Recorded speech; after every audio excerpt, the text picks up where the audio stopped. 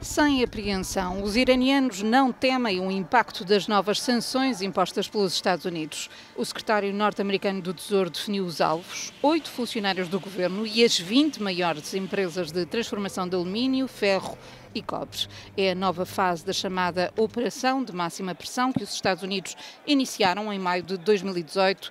Nas ruas de Teherão, a notícia foi recebida sem sobressaltos. Há muito tempo que vivemos com sanções. Antigamente conseguia transferir dinheiro para os meus filhos que vivem no estrangeiro. Agora as agências de câmbio levam-nos tudo, aqui e lá fora, por causa das sanções.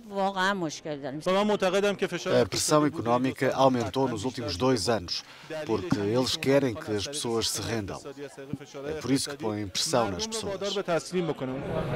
Os Estados Unidos não esconderam as motivações, queriam obrigar o Irão a voltar à mesa das negociações Quase dois anos depois, o objetivo continua por cumprir. São chamadas de sanções cegas. Alguns setores de produção que estavam sujeitos a sanções estão agora listados como empresas. Será difícil ter resultados destas sanções.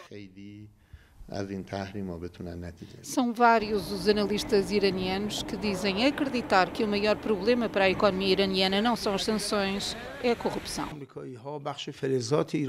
Compreendo porque é que os americanos se focaram no setor metalúrgico do Irão.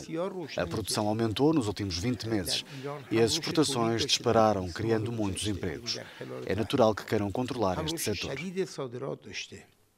Se o Irão exportar e importar apenas para os países vizinhos, pode tornar as sanções ineficientes.